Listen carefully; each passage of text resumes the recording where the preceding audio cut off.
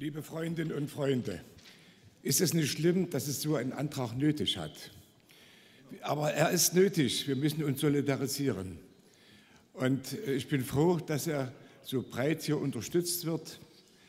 Und ich bin einer, der in der Begründung genannt wurde, aber nur stellvertretend für viele.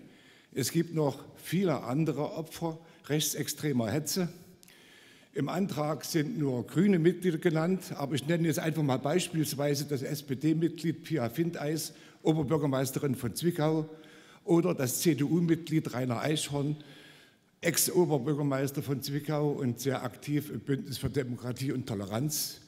Egal welches Parteibuch diejenigen haben, die angegriffen werden, ihnen allen gilt unsere Unterstützung.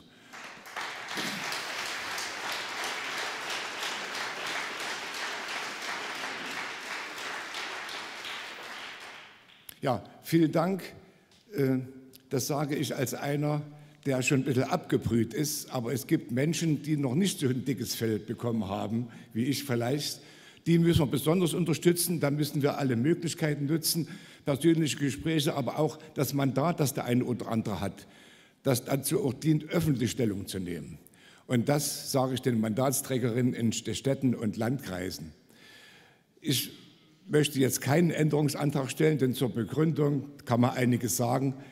Das ergänzen, äh, was ich eben gesagt habe, dass wir ohne Ansehen der Person die Opfer unterstützen und das vor allem auch öffentlich. Ich danke euch.